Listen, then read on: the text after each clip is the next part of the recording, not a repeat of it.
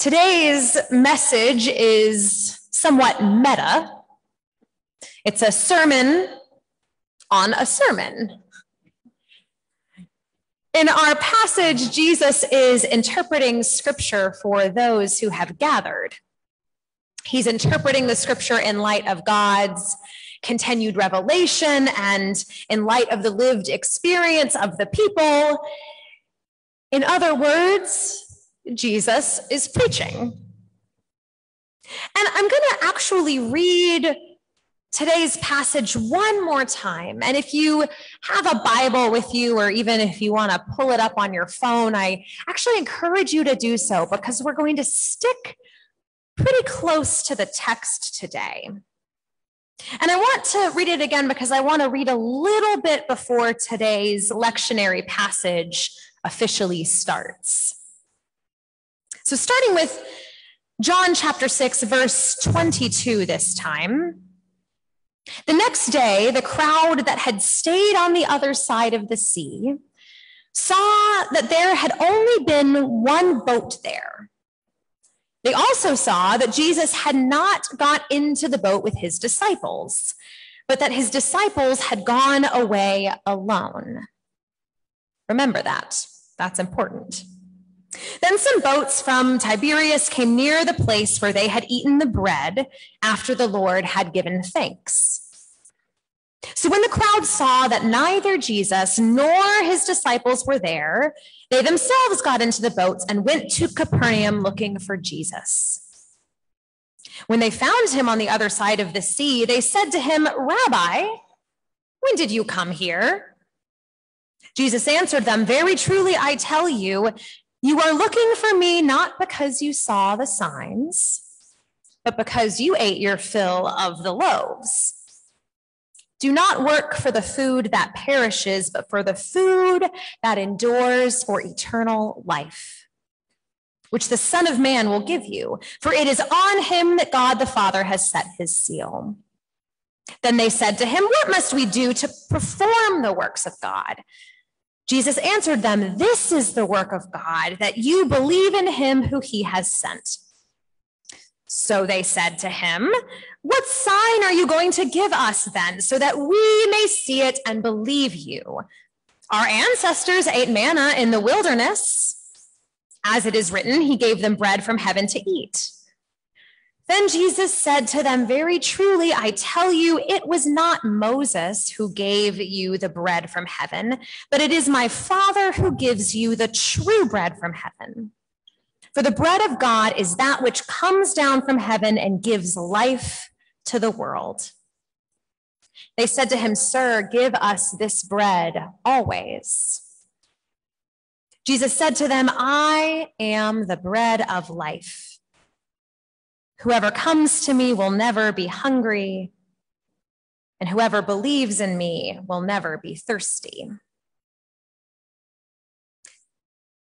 So, as you can hear in this text from the Gospel of John, Jesus is actually talking with the people about a passage from Exodus, which just so happens to be the passage that we focused on together last week. It's almost like I planned it that way. So, my meta sermon, it picks up where we left off. Now, to provide us all with a quick recap, last week's scripture from Exodus told the story of the miracle of the manna. The Israelites are journeying in the desert after escaping enslavement in Egypt. They run out of food they get hungry and they bring their complaint to Moses and to God. God responds to their complaint by being present to them and providing for them. God gives them the manna from heaven, bread that appears fresh like dew each morning, and quail that come each evening so that the Israelites might have sustenance for their journey. That context is critical for understanding today's scripture.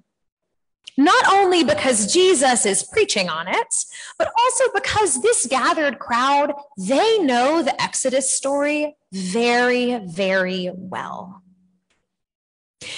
I also want to take a moment and situate this passage from John in the larger gospel narrative, because that also has some critical pieces we need for understanding this text. This crowd of followers, they've been pursuing Jesus for quite some time. They've basically been following him all around the Sea of Galilee.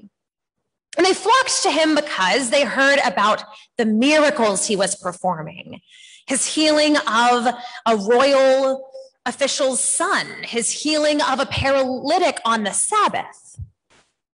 This is also the crowd, or at least part of the crowd, that was there and fed by the loaves and the fishes. Also, this crowd has just gotten wind about Jesus walking on water.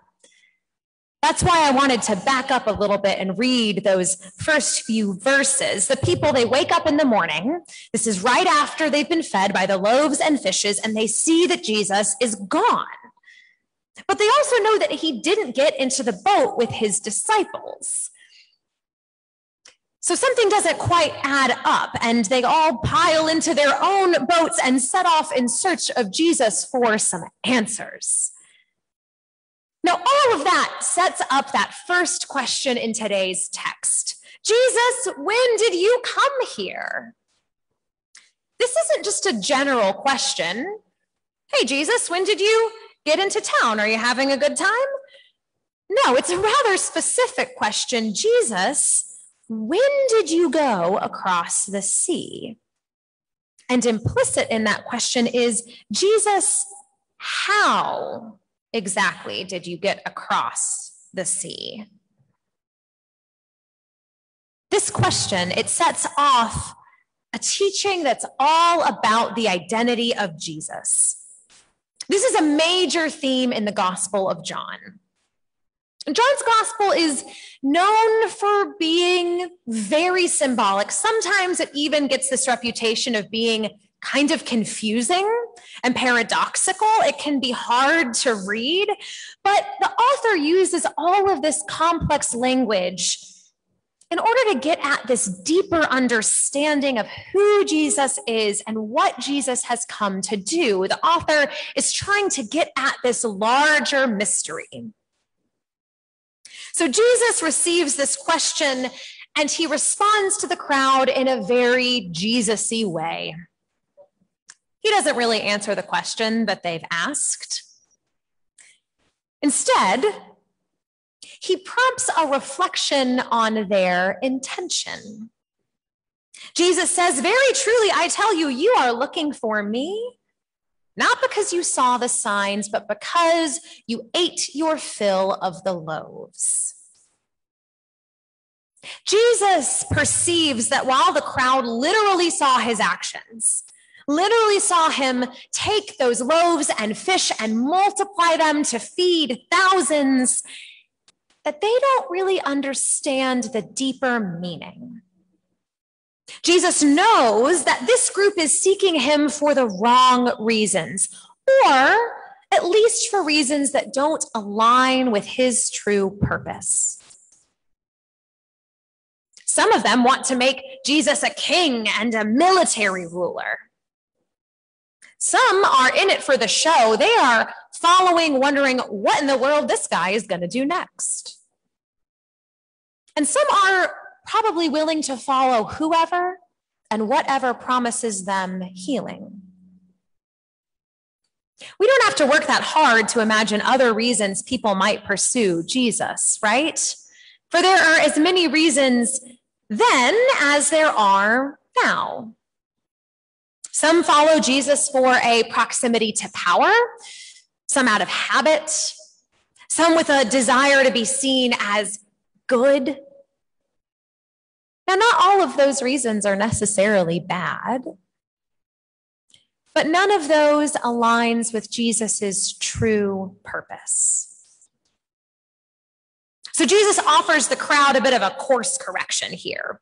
He says, Do not work for the food that perishes, but for the food that endures for eternal life.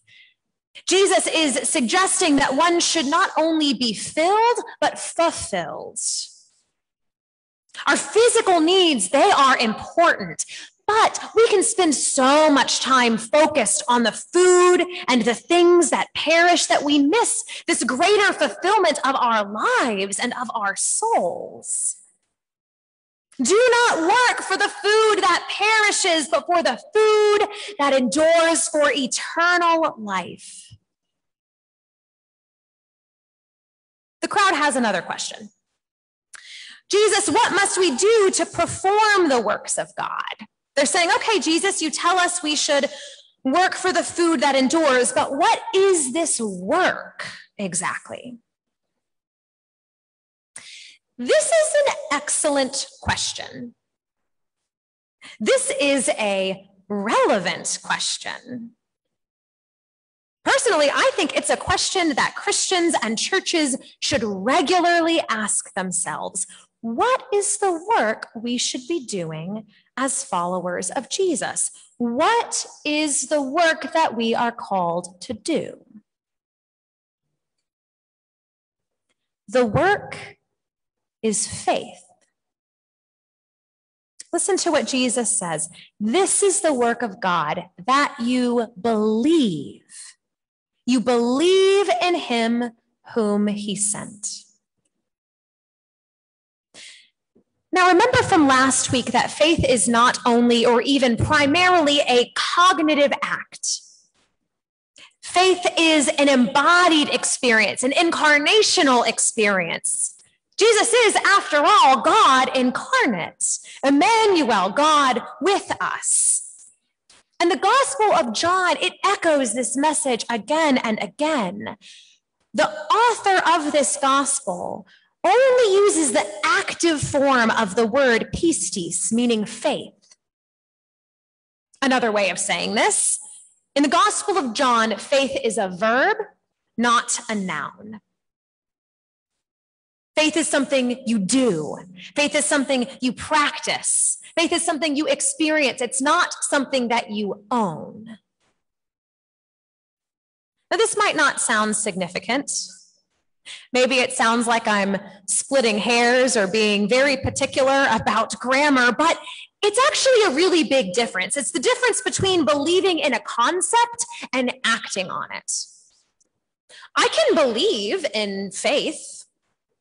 I can believe in justice. I can believe theoretically in love without ever actually showing faith or doing justice or loving people. The work is to believe, not to achieve. Jesus is saying, yes, the miracles I'm doing, they're important, but they are but signs. They are not an end in themselves. They are outward manifestations of this incarnational love. The people that Jesus is speaking to do not yet understand that the goal is not to achieve many things but rather, as one commentator put it, to let God do her unique work through a living faith in the Son she sent. The work is not to achieve many things. Oof. How countercultural is that?